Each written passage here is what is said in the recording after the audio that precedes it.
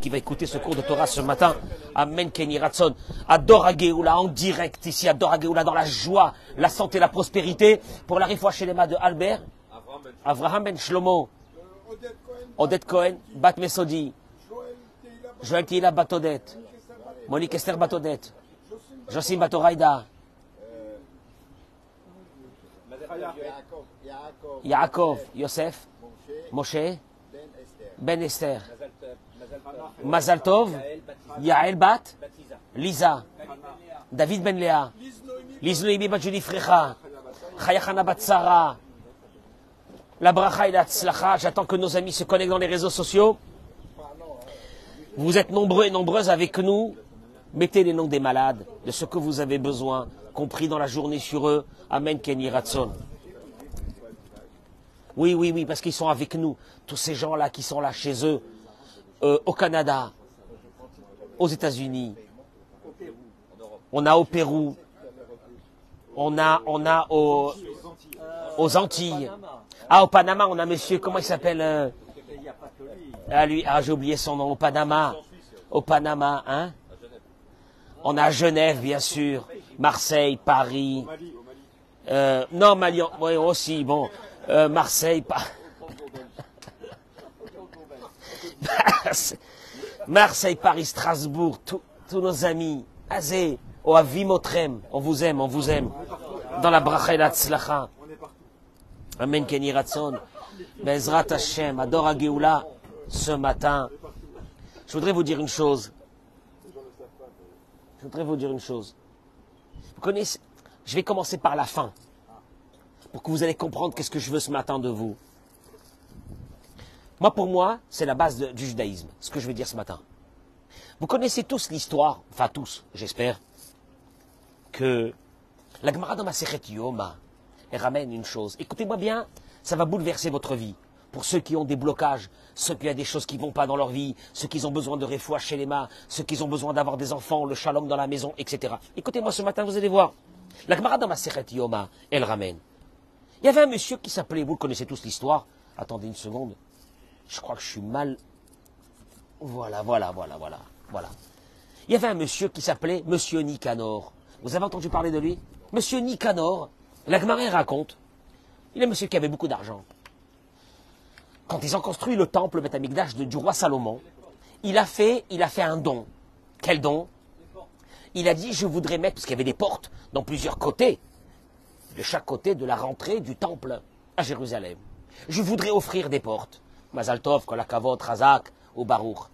Ces portes n'étaient pas fabriquées en Israël. Il n'y avait pas de fabricant en Israël de ces portes. Des portes énormes, énormes, en cuivre. La camarade dit, Halach le Havid Latot, mais Alexandria chez. Il est parti à Alexandrie. Arrêtez de chanter. Il est parti à Alexandrie. En Égypte. Il y avait là-bas des artisans. Et voilà qu'au retour, il a ramené ses portes sur un bateau. Malheureusement, il y a une tempête entre l'Égypte et ici. Elat, le port d'Elat. Et ils ont été obligés, c'est dramatique, il est parti, il a mis de sa fortune dans ses portes. Ils ont été obligés, à un moment donné, d'en jeter une pour alléger le bateau, parce qu'il y avait une tempête. La. La mer ne s'est pas calmée. Et donc, euh, le bateau menaçait de sombrer. Bikshu la'atil et acheret, la Gemara dit. Ils sont venus, les marins, pour prendre la deuxième porte qui alourdissait le bateau et le jeter par-dessus bord. Amadou, il s'est levé. Ou Kracha, Kracha Rachidi dans la Gemara, il a serré cette porte dans ses bras. Il s'est agrippé à cette porte. Amar Lahem, il aura dit, Hatiluni ima. Vous jetez la porte, je pars avec. C'est facile de dire ça dans une histoire, hein, Eric? C'est facile, hein Où est Olivier? Je vais le tuer, où est Olivier? Olivier viens ici, viens ici, viens ici, viens ici. Viens ici, viens ici. Il s'est agrippé, il a dit, jetez-moi, jetez-moi par-dessus bord. C'est une histoire sympathique, hein. Mais si je te dis à toi, je te jette par-dessus bord, tu vas voir comment c'est sympathique. Miad, tout de suite. Nachayam, écoutez-moi bien ce que je vais dire. La mer s'est calmée. Je crois que la Gemara te raconte ici un petit conte pour les enfants euh. La mer s'est calmée. Pas seulement que la mer s'est calmée, lui, pendant tout le reste du voyage, il était en train de pleurer qu'il a perdu l'une des portes. Ils sont arrivés au port. je pensais que c'était Elat, non. Mais apparemment, ils ont fait tout le tour. Ils sont arrivés par je sais quel côté. Ils sont arrivés au port de Akko.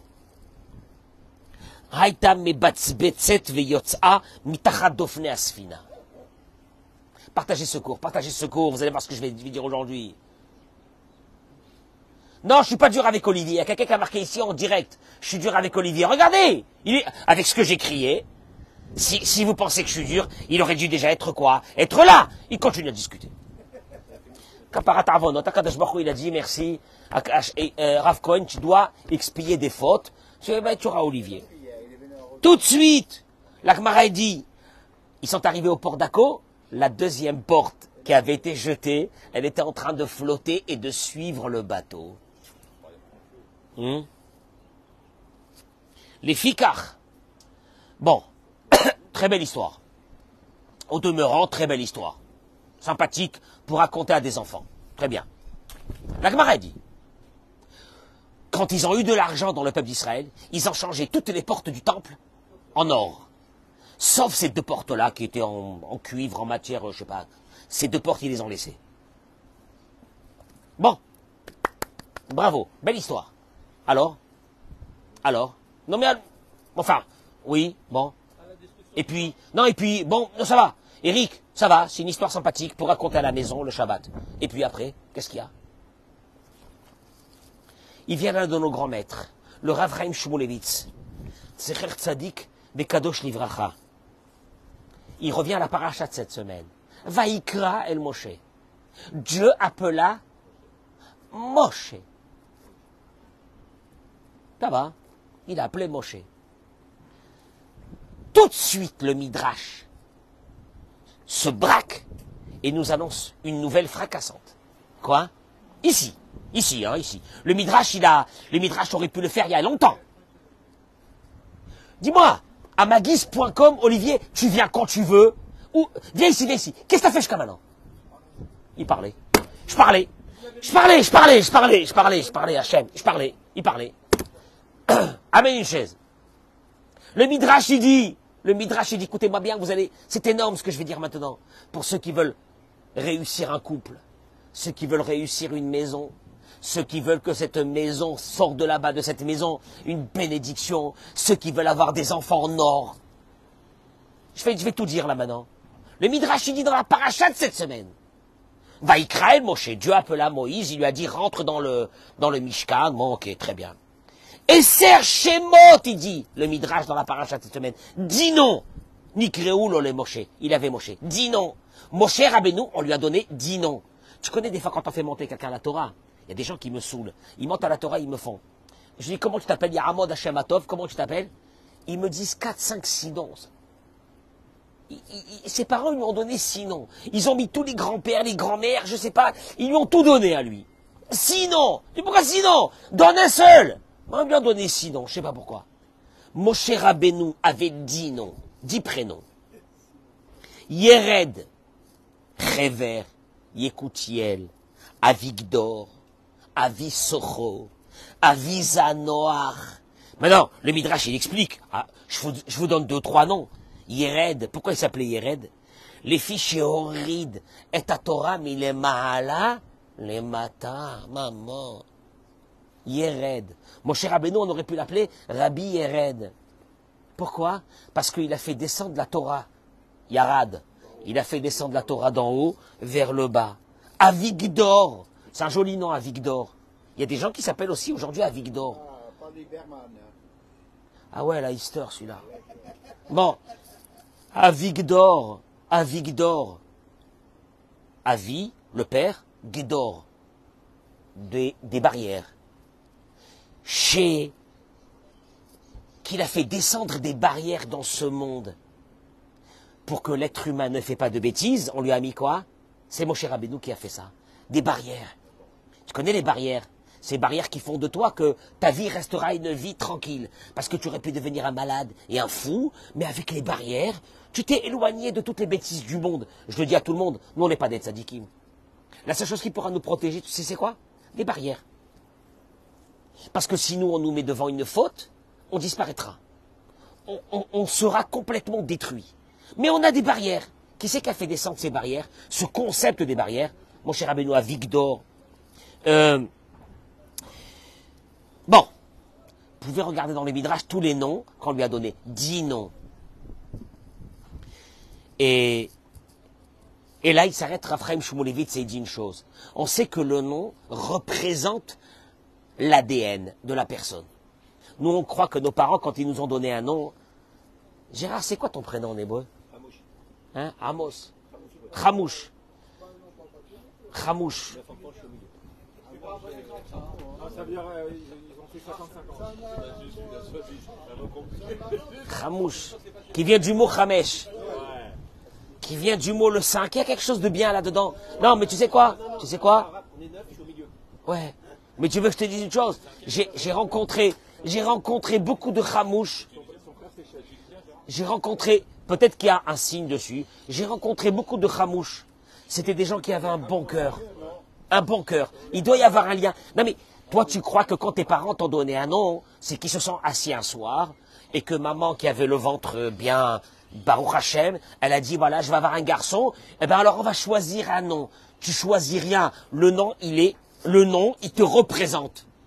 Le nom il te représente. Vous allez voir, si vous voulez.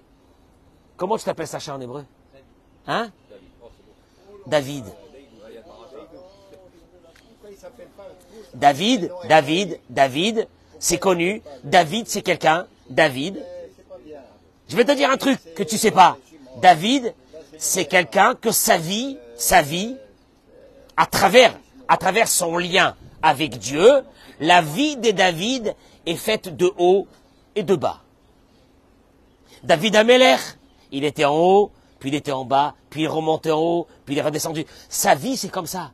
Le David, les David, les David n'auront pas une vie linéaire. Et ainsi de suite, et ainsi de suite. Hein? Shlomo Hamelech, Alav Shalom.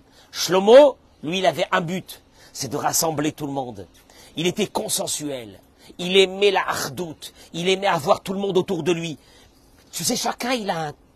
Alors, Raphaël, il te dit, Raphaël Shmulevitz, il te dit une chose. Le nom, le nom, ça représente vraiment une personne. C'est l'entité de la personne. Mais Amrou Chazal, et nos sages, ils disent, Baruch. C'est dans la. Dieu, il a dit à Moshe. Mikol Hashemot. De tous les noms que tu as. De tous les noms que tu as. Réver, Yered, Avigdor, tout ce que tu veux. De tous les noms que tu as. Je ne t'appelle, que avec ce nom-là. Lequel? Moshe. Ou, ou, Vaïkra El Moshe. Parachat cette semaine. Dieu appela Moshe. Bon. Qu'est-ce qui se passe ici? Qu'est-ce qui se passe ici? Akadosh Baruch il est en train de dire une chose. Ani Korecha, je vais t'appeler, il dit le Midrash, qu'avec ce nom que t'as donné Batia, la fille de Paran. Qui c'est qui lui a donné ce nom? C'est Batia. Au moment où c'est qu'elle a fait sortir du fleuve, elle lui a donné ce nom. Pourquoi elle lui a donné ce nom? Elle lui a dit, elle a dit Kimin Hamaim Mishitihu, car des eaux, je l'ai, je l'ai puisé, je l'ai fait sortir. En vérité, en vérité, c'est un nom qui représente plus Batia, l'action de Batia, qu'une action sur Moshe. À Vicdor, par exemple, on a dit qu'à Vicdor, le père de ceux qui ont mis des barrières. Ça, c'est un nom qui représente qui? Moshe lui-même. Or, Moshe, c'est pas un nom qui le représente, c'est un nom qui représente qui? L'action de Batia. Et là, il dit Raphaël Shmulevitz, qu'est-ce qui se passe ici? Pourquoi Dieu, il a dit, je choisis ce prénom, pas un autre? Venira les. Je vous le fais très court. Il dit, je vais vous dire, je vais vous expliquer. S'il y a eu une jeune fille qui a donné sa vie pour Dieu, ça a été Batia, cette fille de Pharaon. Son père était en train de détruire tous les premiers-nés. Son père était en train de détruire, les premiers-nés, était en train de détruire tous les garçons. Parce qu'on lui avait dit que l'un de ces garçons allait venir et allait libérer ce peuple d'esclaves. Elle vient, elle rentre dans l'eau, elle fait sortir ce berceau, elle le fait sortir, elle lui donne ce nom de Moshe, Kiminamaïnishitiou. Elle l'amène dans le palais de son père. Mais son père aurait pu la tuer, elle et le petit bébé. Il y a ici, il dit Raphaël Shmulevitz, l'une des notions fondamentales de la Torah. Lequel? Dieu il dit à Moshe, je veux garder que ce nom. Pourquoi ce nom? Parce que Batia, te l'a donné alors. Batia, quand elle te l'a donné, elle avait donné son âme, elle avait donné sa vie pour moi. Elle avait donné sa vie pour te sauver. Tu sais qu'est-ce qui s'est passé quand elle a donné sa vie pour te sauver? Elle n'a pas seulement donné sa vie pour te sauver. En donnant sa vie pour te sauver, elle t'a donné à toi cette force. De donner toi ta vie pour sauver les autres. Tu entends ce que je suis en train de dire? Toi, tu crois que quand tu fais une action sur quelque chose et que tu donnes ta vie sur cette chose, bon, ben, ma, foi, euh, tu as donné ta vie pour cette chose. Non, tu viens de donner à la chose pour laquelle tu as donné de la vie, tu as donné ta vie, tu as surpassé ta nature humaine, parce que la nature humaine aurait été que quoi? Papa a dit que si je touche à un de ces bébés-là, je risque de mourir ou non? C'est interdit. C'est interdit de transgresser la parole du roi. Qu'est-ce qu'elle fait, elle? Elle va, elle, va, elle va interférer dans la parole de son père. Elle va prendre ce bébé, elle va le faire rentrer dans le palais, elle va sûrement le cacher pendant des semaines et, des mois avant de le faire sortir au grand jour. Tu es folle? Qu'est-ce que tu fais là? Mais elle vient de faire une chose extraordinaire. Quoi? Elle a donné sa vie. Quand tu donnes ta vie pour quelque chose, c'est pas simplement que tu as donné ta vie pour cette chose. Tu as fait rentrer cette force du don, cette force de Messirut Nefesh tu l'as fait rentrer dans la chose pour laquelle tu as donné ta vie. Et là, à partir de ce moment, cette chose-là, elle est indestructible. Et Akadosh Baruch dit à mon cher Abénou, tu sais lequel nom j'ai choisi? Parmi tous les noms qu'on t'a donnés, ils sont beaux les noms qu'on t'a donnés, ils sont, très extraordinaires, mais il y a un nom qui me plaît. C'est lequel? Lequel? Parce que pour moi, pour moi, tu sais à partir de quand il y a quelque chose qui devient solide? À partir de quel moment il y a quelque chose qui deviendra indestructible? À partir de quel moment il y a quelque chose qui va pérenner dans le temps? C'est quand tu donnes ta vie. Pour moi. Ouais, ouais. Tu sais comment on appelle ça? Messirut Nefesh. C'est quoi Messirut Nefesh? Dieu il te dit une chose. Je vais t'expliquer moi.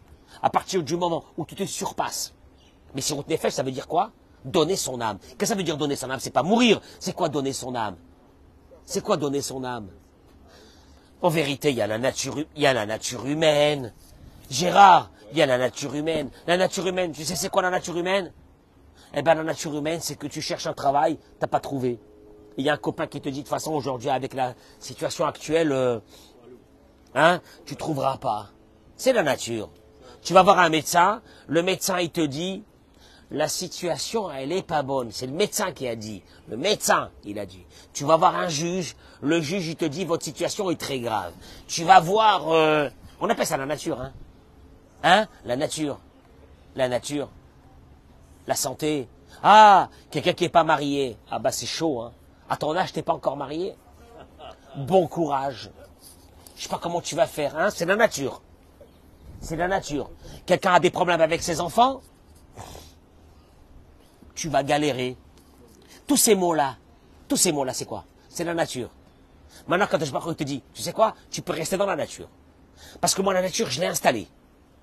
Tu veux rester dans la nature? Reste dans la nature. C'est quoi la nature? Ben, la nature. Ne, on ne sort pas de nos zones de... Comment on appelle ça? De confort. Hein? Ah bon? Tu veux sortir de ta zone de confort? Tu veux faire pour moi quelque chose d'exceptionnel?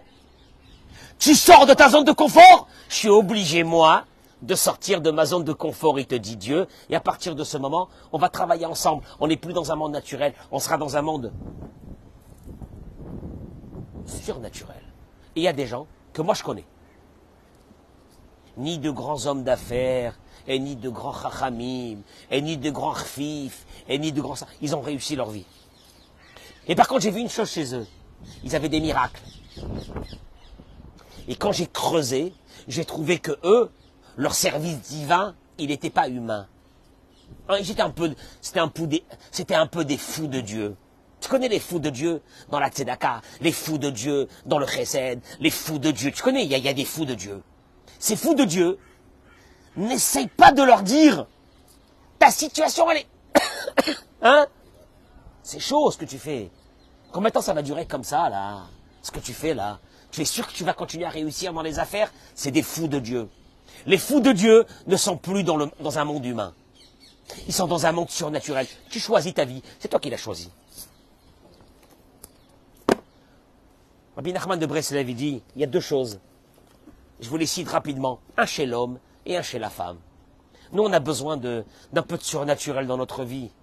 On a besoin d'un peu de surnaturel. On veut réussir ben, Bezrat Hashem avec nos enfants. On veut réussir avec notre couple. On veut réussir dans la parnassa. On veut réussir avec nos petits-enfants. On veut réussir dans notre vie. On veut réussir un peu. On veut, on veut, on veut. On veut que quand on demande à Dieu, la Gemara dit, la Gemara dit, je comprends pas, il y a un grand rabbin dans la Gemara qui a dit, Shmuel, il y a des générations, il y avait des générations, un des grands, un des grands du Talmud, il y a 2000 ans, il a dit, il y avait des générations que quand à peine ils ouvraient leur bouche pour prier, ils étaient exaucés. Et nous, aujourd'hui, on n'est pas exaucés. Qu'est-ce que c'est ça? Et la réponse qui lui a été donnée, c'était quoi? C'est que les générations d'avant, ce qu'ils faisaient, c'était hors du commun. Donc Dieu, il était avec eux hors du commun. Et quand Dieu est avec toi hors du commun, toutes les portes du monde s'ouvrent. Rabbi Nachman de Breslev a donné pas mal de choses qu'on appelle dans la Messirut Nefesh, dans le don de soi. Moi, je voudrais vous donner deux petites. Un pour l'homme et un pour la femme, pour qu'on soit équitable dans cette maison-là, et que dans cette maison, on arrête d'être écrasé par la nature, et qu'on puisse commencer à vivre je vous assure que j'ai vu, Olivier, j'ai vu des personnes. Je te jure que j'ai vu des personnes dans ma vie. Que tout ce qui touchait, ça devenait de l'or. Écoute-moi bien. C'était tout sauf des businessmen. c'est pas possible. Mais des, des gens que j'adorais, hein. C'était comme là, c'est la famille. C'était pas des businessmen. Tout ce qui touchait, ça. Et tu voyais que c'était de l'or.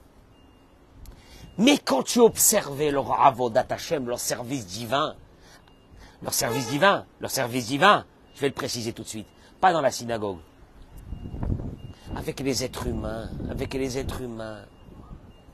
Et c'est dur avec les êtres humains. Parce que nous, on aime bien une religion qui est avec Dieu. Avec Dieu, hein, hein, avec Dieu. Mais quand c'est relation humaine, hmm, c'est dur. Ah, relation humaine, c'est dur. Que tu dis à quelqu'un, tu mettras, je sais pas quoi, tu feras comme ça, tu mettras un talit de katane comme ça, tu feras une ségoule, c'est sympa. Mais quand tu lui dis à l'être humain, le vrai avodat Hashem, qui va t'amener à ce qu'on appelle la Messirut Nefesh, le don de soi, où tu vas être dans un monde qui n'a rien à voir. Ça, je l'ai vu chez ces gens-là. Ils avaient, ils avaient le don de soi, la Messirut Nefesh, pas à travers Dieu, c'était pas des grands religieux, à travers les êtres humains qui étaient en face d'eux. Ils surpassaient la nature, ils surpassaient la nature. Mais quand tu surpasses la nature, Dieu surpasse la nature avec toi. Je vous amène deux petites choses. La première, la première, il ramène ici, il dit, la première, elle est fondamentale. Elle vous plaira pas, Hervé, elle vous plaira pas. Mais c'est pas grave. C'est pas grave parce qu'elle est fondamentale. Achat mitzvot, shemetzava atora et aish. La mitzvah, la mitzvah, que la Torah ordonne à un homme, un homme, un garçon qui va se marier, quelqu'un qui est marié, ça fait 10 ans, ça fait 20 ans, ça fait 30 ans, il a déjà oublié. La mitzvah du mariage, laquelle? Moi, j'ai- cherché dans la Torah. Est-ce qu'il y a une mitzvah du mariage? Une vraie mitzvah. À travers le mariage? Non, non, non, non, non Shmuel, toi tu connais bien la Torah. À travers le mariage, est-ce qu'il y a une mitzvah de Dieu que je peux surpasser ma vie pour que Dieu soit avec moi de façon miraculeuse? Il y a une mitzvah dans la Torah, dans le mariage. Vesimach et ishto asher. Vesimach et ishto asher. Un mariage, il y a une mitzvah, une seule. Ah, elle est dure. Pour nous les hommes, elle est dure. Tu, rendras heureuse la femme que tu as pris. Hmm? Non, non, non, non, non, non. C'est pas marqué ça, non, Shmuel, non, non. Il te dit, il te dit, il te dit, dans la Torah, c'est pas marqué qu'une femme doit rendre heureuse son mari. Euh, Mechila, Mechila, bien sûr qu'une femme doit rendre heureuse son mari si elle veut le garder. Parce que si, un mari n'est pas heureux dans une maison, un bon bataille va partir. Mais il y a une mitzvah dans la Torah, un homme, de rendre heureux. Maintenant, toi tu dis, je me marie, je me marie, euh, le mec il fait le coq, il est là dans la choupa, il, il est très fier, il est dans la choupa, il s'imagine que je ne sais quoi mon pote, ton boulot il va commencer, tu vas voir maintenant c'est quoi le vrai boulot. Tu as une obligation de rendre heureux la femme. Maintenant écoute-moi bien, il dit le, il dit le rave.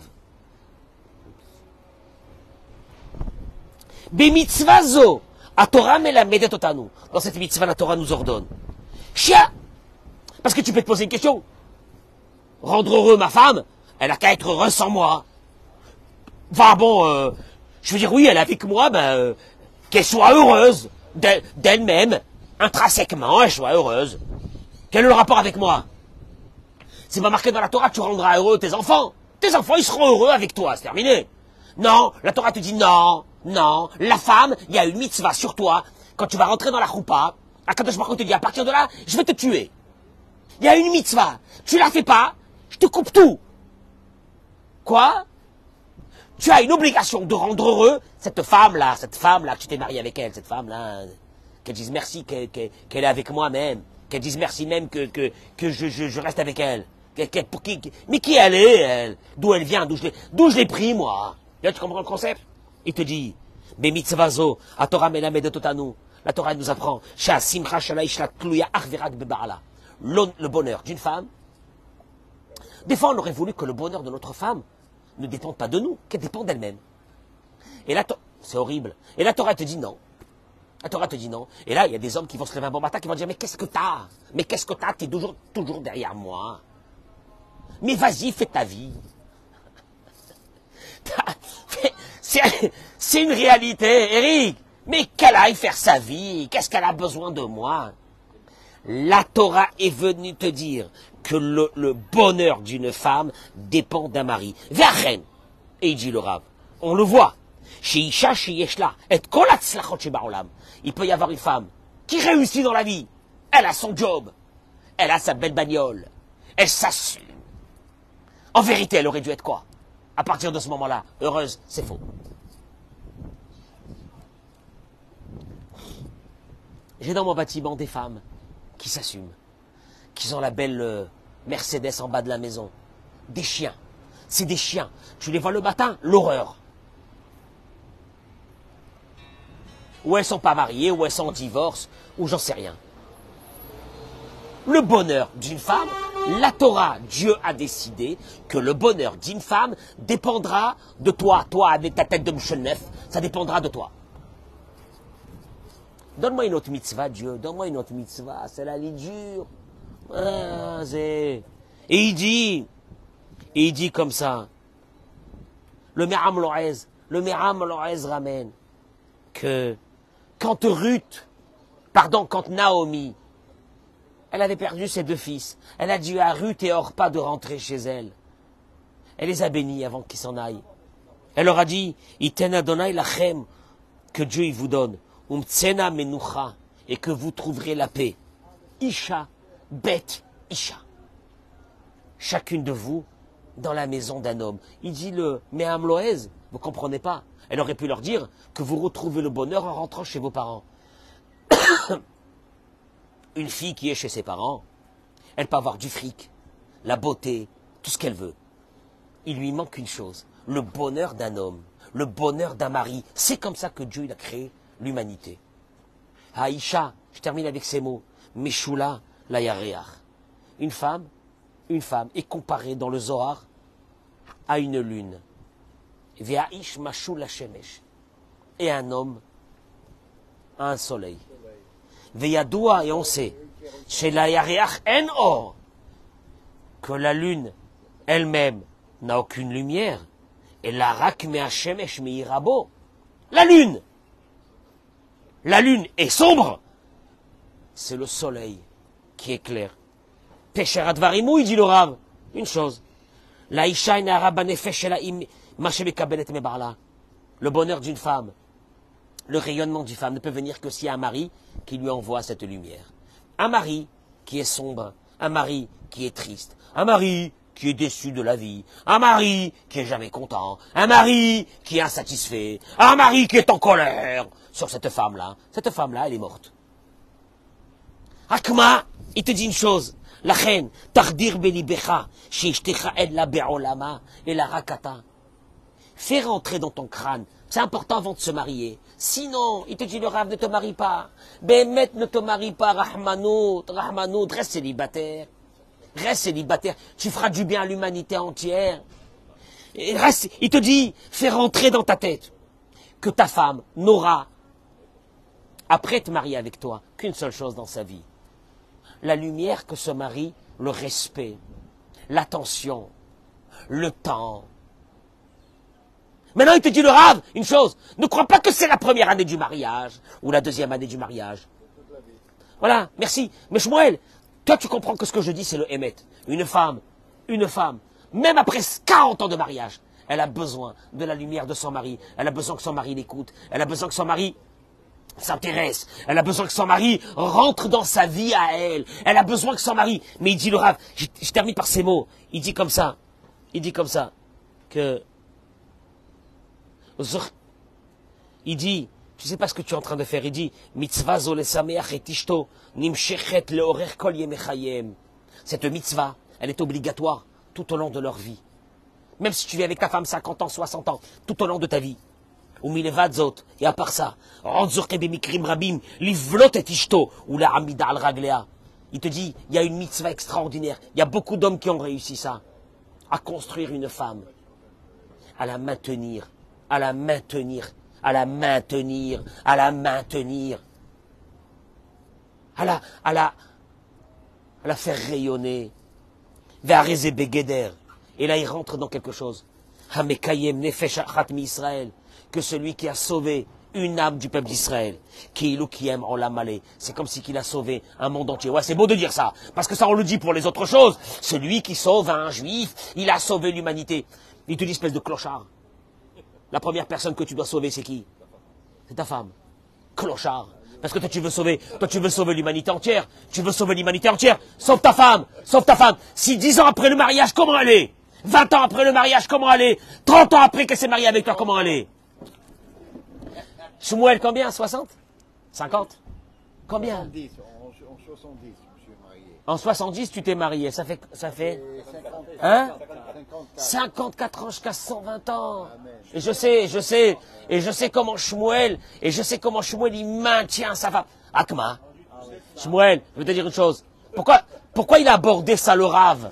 Pourquoi il a abordé ça le rave dans la Messirut Nefesh qui peut t'amener? Parce que c'est une chose qui est très difficile.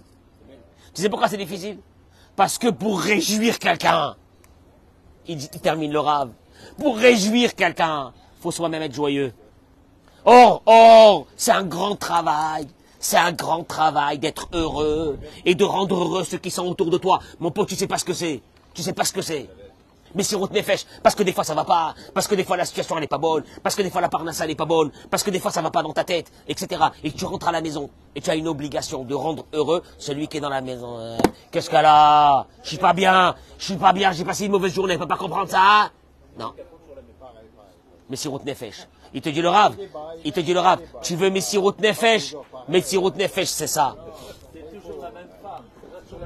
Ouais, ouais, ouais, ouais, ouais. Par rapport à ce que vous avez dit tout à l'heure de la nature et Oui.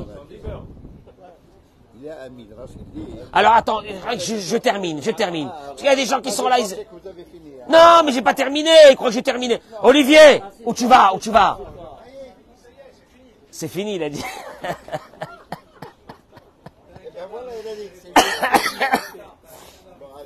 Pour mesdames, pour mesdames, pour mesdames, je termine avec un mot pour mesdames. Je vous en... Les femmes maintenant. Non, les femmes vis-à-vis des hommes. Maintenant, on a parlé des hommes vis-à-vis des femmes. je peux vous demander une chose. Il dit, il dit, il dit Rabbi Nachman de Breslev, ce qui manque à une femme, elle a des qualités énormes, c'est connu. Elle m'a les daber à filou. Pachout. Savlanout. Savlanout. Patience. La femme veut la chose. Comme c'est très émotionnel, elle veut les choses tout de suite. Moi, ça m'arrive jusqu'à aujourd'hui hein, que ma femme elle me dit Tu as un mot dans ta bouche, il est extraordinaire. Demain, je ferai ça. Demain. Pourquoi tu ne fais pas maintenant? Demain. Ils veulent tout de suite, ils veulent tout de suite. Savlanout, il dit une chose, le rave. Il dit à Savlanout, à Savlanout, la patience. Aliédé chez Tavin, chez Loréouya, chez Miyad, Bitrilat Nisouya, Yeila Gan Eden. Une jeune femme qui se marie, qu'elle sache tout de suite une chose. Que sa vie sera un rêve depuis le début, c'est un deuxième rêve qu'elle est en train de rêver, la pauvre. Non. La vie, ça demande une construction. Un couple demande une construction. Un homme, c'est dommage de l'agresser. Tu feras rien sortir de l'agression. Patience, encouragement, tout doucement. Tu verras. Mais il y a beaucoup de femmes qui te diront j'ai essayé. C'est pas vrai. Elles ont crié beaucoup. Elles se sont beaucoup énervées. Elles se sont beaucoup mis en colère. Elles n'ont pas essayé. Essayer veut dire prends cet homme. C'est une éducation. Il ne sait, pas, il sait pas que tu es différente complètement de lui. Il ne sait pas quelles sont tes attentes. Apprends-lui tout doucement. Mais apprends-lui dans le silence. Apprends-lui dans le calme. Ça marche. Ça marche. Et pour- Mais, euh, non, non, euh, non. Quand j'ai crié, ça a marché. Non. Tout doucement. Juste une chose qu'il dit. Il dit une chose extraordinaire ici. Il dit que היא יכולה להחיות את בעלה ולתת לו חיים וביטחון עצמי והצלחה, שבסופו של דבר היא זה שתהנה מכך. Il dit cette patience peut amener un mari à lui faire comprendre des choses qui vont lui changer sa vie. C'est juste, il te demande une chose, il te dit. Il te dit, Isha sheroa, sheyesh le ba'ala chesronot. Une femme qui voit que son mari a des, des manques. Je voudrais dire, euh, nous tous, hein, quoi. Soit dans leur relation, soit par rapport à Dieu. Il y a deux façons de s'occuper de ce problème. Un, la redette à la vela guide, c'est de lui crier, c'est de lui hurler, hurler, etc.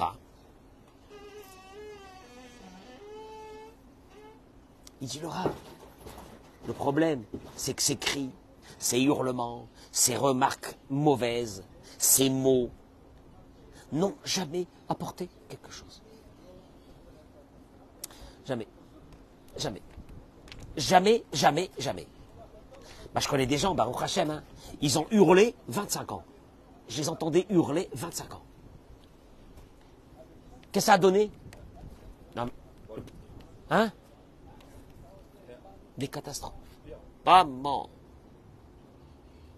À la rigueur, à la rigueur, s'ils n'avaient rien dit, ils avaient laissé les choses se faire tout seuls. Ça aurait été mieux. Klalou. La règle, elle est, en deux mots, chez Divrei Aïdout Po'alim Pe'oula Chiovit, que les paroles d'encouragement. J'ai dit aux femmes, à la place de hurler, arrête, arrête, arrête, arrête, arrête, arrête. Quand ton mari fait quelque chose de bien, encourage-le. Il va prendre la grosse tête. Ah, je vais l'encourager? Et tu vois que c'est un isayon chez la femme. D'encourager, de féliciter, de remercier. Craval. Il dit dommage. Tu sais pourquoi dommage? Il dit parce que euh, il dit mieux que ça. Même un, un radin, un radin, un radin, un radin. Tu connais les radins? Tu connais les radins? Hein? C'est qui? Comment tu sais que quelqu'un est radin? Moi, j'ai une. euh, C'est personnel, hein. C'est pas dans la Torah ce que je vous dis. Quand tu vois quelqu'un qui n'a jamais un centime en espèces, il a une carte bleue. Mais rien il, est partout, il a une carte bleue, rien. Il n'a pas de quoi donner un shekel de pourboire, une carte bleue. Il faut se méfier des cartes bleues. Non, qu'est-ce que tu penses euh, Non? Hein? Ceux qui ont les porte-monnaies comme ça, qui s'ouvrent avec les petites pièces. Maman ma- Ça existe encore? Ça- Aïe, aïe, aïe, aïe, aïe, aïe. Ceux qui ont le porte-monnaie. Ah, maman Avec le, avec le, le porte-monnaie comme ça. Aïe, aïe. Aïe, aïe. Ne monte jamais. Ne monte pas. Oh, ça c'est pour la tzedaka. Ça c'est autre chose. Il a porte-monnaie pour la tzedaka, c'est autre chose. Pour avoir des pièces de ça n'a rien à voir. Il dit, quand on lui dit à ce radin, écoute-moi bien, t'es quelqu'un de généreux, t'es généreux, il a fait un petit truc de rien, deux balles. T'es généreux, quand la cavode, la vérité. Il dit, tu sais pas ce qui se passe dans sa tête? Il a un truc dans sa tête qui est en train de s'ouvrir. Qu'en donnant, il va recevoir des... Eh ben, à ce moment-là, il a envie de faire encore plus. Mais si tu lui dis t'es radin, t'es radin, t'es radin, t'es radin, ça marchera pas. Il ramène ici juste une histoire. Je termine avec ça. D'un grand violoniste. Que, au moment où il a commencé à apprendre le violon, c'était horrible de l'écouter. Il savait pas. Il ne savait pas. Les gens, ils l'ont. Mais les gens, quand ils l'entendaient, ils disaient c'est horrible. Mais jamais il arrivera à rien. Et lui, il se prenait pour un. Déjà qu'il aimait le violon et il arrivait.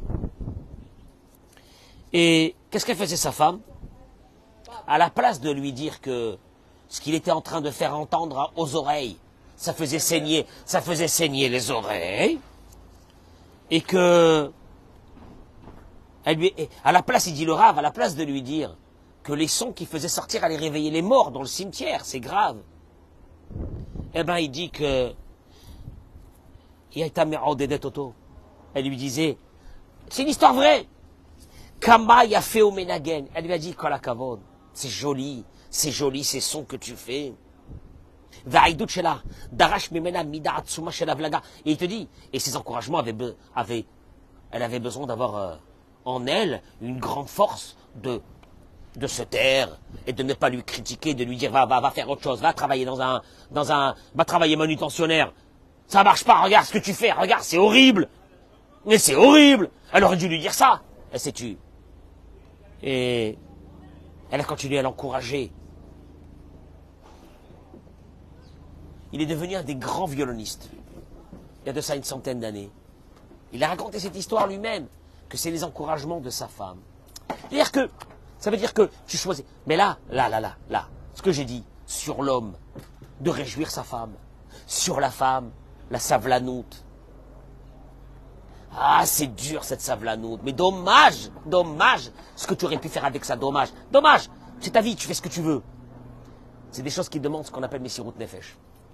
Un don de soi.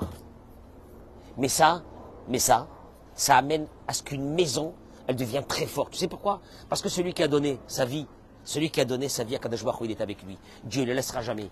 Tu t'as surpassé la nature.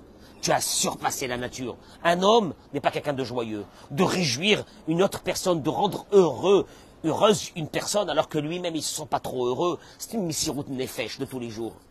Mais là, là, Kadosh Baruch te dit, moi avec toi, écoute-moi bien, dans ta santé, dans ta vie, dans tout. On n'est plus dans un monde humain ensemble. On va, on va faire un chemin ensemble, mais qui n'a rien à voir avec un chemin de la nature. On va être dans le surnaturel. Il y a des personnes qui sont dans le surnaturel que par des choses comme ça. À la maison. Oui, à la maison. Oui, à la ouais, dehors. Oui, dehors, c'est très, très mignon dehors. À la maison. Je vous souhaite bracha batzlacha, réfléchissez à ça. Partagez ce cours, j'en supplie. Amen Kenny Ratson.